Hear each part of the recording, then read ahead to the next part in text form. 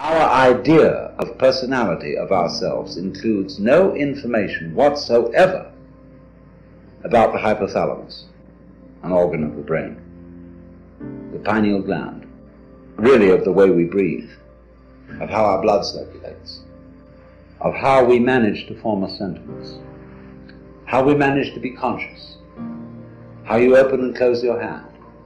The information contained in your image of yourself contains nothing about all that. And therefore, obviously, it's an extremely inadequate image. So when you feel that you are a lonely, put upon, isolated, little stranger confronting all this, see, you have an illusory feeling. Because the truth is the reverse. You are the whole works that there is, that always was and always has been, always will be. Only just as my whole body has a little nerve end here, which is exploring and which contributes to the sense of touch, you are just such a little nerve end for everything that's going on.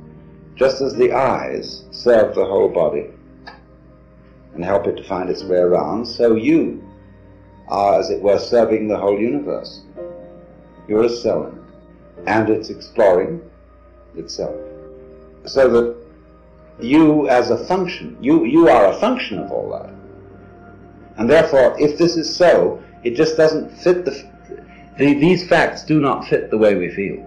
Because we feel it the other way around. I am a little lonely thing exploring all this universe and trying to get, make something out of it, get something out of it, do something with it. And I know I'm going to fail because I know I'm going to die one day. So we're all fundamentally depressed. And think up all these fantasies about what's going to happen to us when we're dead and all that kind of thing. Uh, what's going to happen to you when you're dead? What do you mean, you? If you are basically the universe, that question is irrelevant. You never were born and you never will die. Because what there is is you. And that should be absolutely obvious. But it is not obvious at all. That should be the simplest thing in the world. That you, the I, is what has always been going on and always will go on forever and ever. But we have been bamboozled by religionists, by politicians, by fathers and mothers, by all sorts of people to tell us, you're not it. And we believed it. You are all as much extraordinary phenomena of nature as, say, trees, clouds, the patterns in running water, the shape of fire, the arrangement of the stars, the form of a galaxy. You are all just like that. There's nothing wrong with you at all. Except that I have to add this little flip. You, you, you have in you, you do think there's something wrong with you. See? And there's no question, you do. We all object to ourselves in various ways. And I'm going to add, there's nothing wrong with that either. Because that's part of the flow. That's part of what is going on. That's part of what we do. So I don't, you see, I'm, I'm, I'm, what I'm actually going to do is I'm going to deliver you from a sense of guilt. Because I'm going to teach you that you needn't feel guilty because you feel guilty. of course you feel guilty. It's like someone put a match on you and you feel hot. So they taught you as a child to feel guilty, and you feel guilty. They say, well, if somebody comes along and says, well, you shouldn't, it's not the point. I'm going to say, not that you shouldn't, but that you do, and don't worry about it. And if you want to say further, but I can't help worrying about it, I'm going to say to you, okay, worry about it. This is the principle called in Japanese judo, meaning the gentle way. Go along with it, go along with it, go along with it. So therefore, this is the beginning of meditation. You don't know what you're supposed to do. What can you do? Well, if you don't know what you're supposed to do, you watch. You simply watch what's going on. Like, say, somebody plays music. You listen. And you just follow those sounds. And eventually, you understand the point of the music. The point cannot be explained in words because music is not words.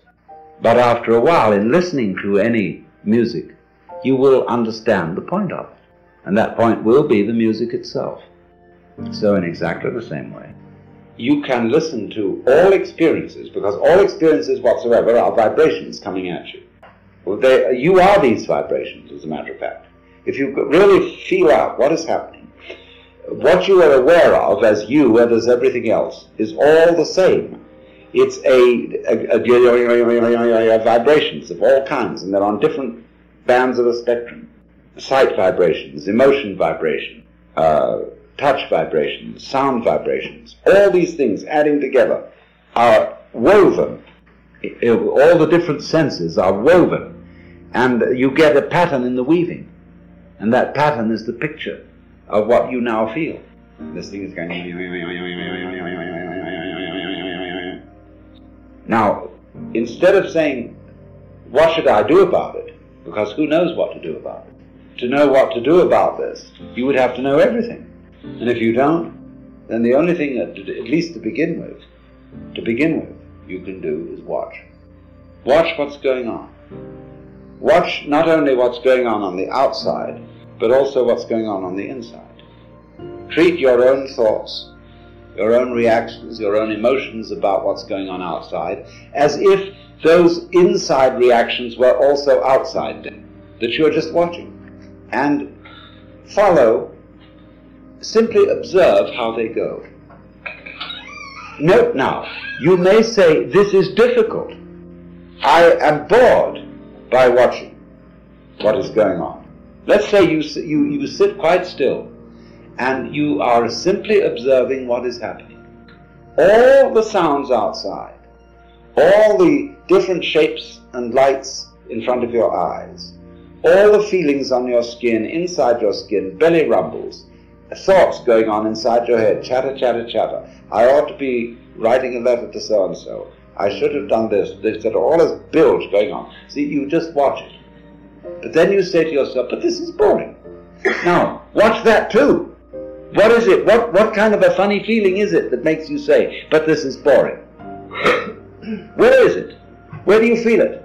I should be doing something else instead. What's that feeling? What part of your body is it in? Is it in here? Is it in here? Is it in the soles of your feet? Where is it? Boring. The feeling of boredom can be very interesting if you try to look it out. So you simply watch at everything going on without attempting to change it in any way, without judging it, without calling it good or bad. You watch it. That is the essential process of meditation.